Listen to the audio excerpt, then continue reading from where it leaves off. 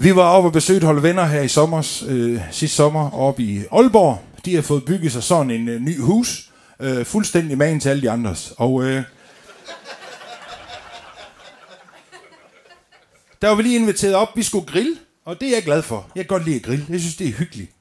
Vi skulle have kylling, øh, og det er altså en lumsk fugl. Øh, jamen det er altså en lumsk fugl, den, det er sådan en, man ved ikke helt, hvornår den er færdig. Øh, man kan rigtig, rigtig altså det, det er jo sådan med en kylling, hvis enten sådan, enten sådan ikke færdig, eller sådan helt færdig.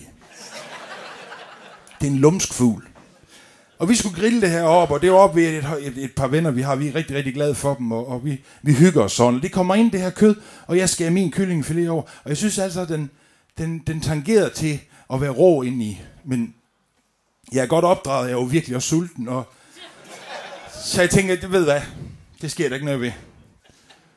Jeg skal da nok lige love jer for en halv time efter, der fik jeg ret da. Hold da kæft.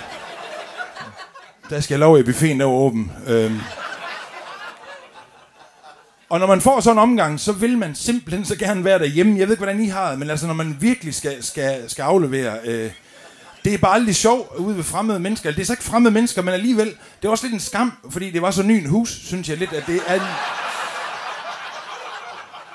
Jamen, sådan en hus, der er 14 dage gammel, jamen,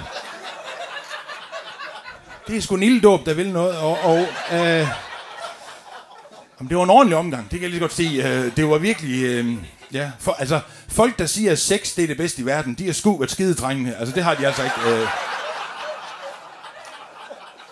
Og, og jeg kommer ind på det her fine nye øh, toilet, og, og, og beder lige min fader hvor, inden at... Øh, at nu går det for sig. Og, og, og, jeg får, og, og desværre, for at gøre ondt værre, så i sådan nogle nye hus, der har de det, der hedder vægthængt toilet.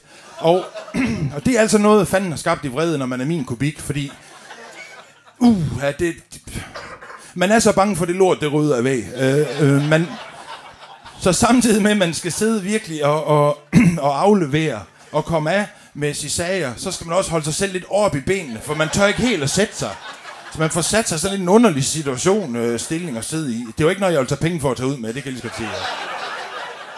Men jeg havde åbenbart fået købt en billet på første paket til øh, noget, jeg ikke vil se. Fordi i, i ny, ny hus, der er de glade for spejl. Og så de har sat sådan en gulv til loftspejl lige foran der, hvor øh, jeg skulle sidde og aflevere. Det var ikke, det var ikke noget, jeg ville tage ud med. Øh, det var virkelig en voldsom oplevelse.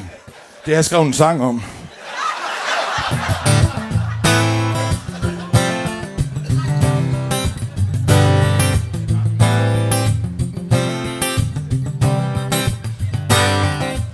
Ligesom er bedst troede, at det var færdigt Skal jeg lov, jeg blev klogere. Ja, det går nok lumsk, så når kylling er kød. Det er så svært at se, om det har fået nok. Og hvis man ikke er den bedste kok Ja, så man jo bare tage en sats Åh, kylling, lært med at skide. Til mit ben sov, og mit kinder, de var hvide jeg skal da lige lov jer for at røven tager fra. Og så ved du bare At du har fået kylling tartar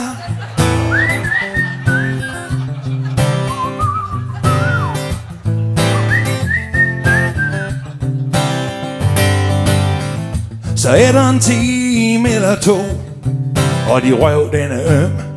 Jamen så løber de telefon tør for strøm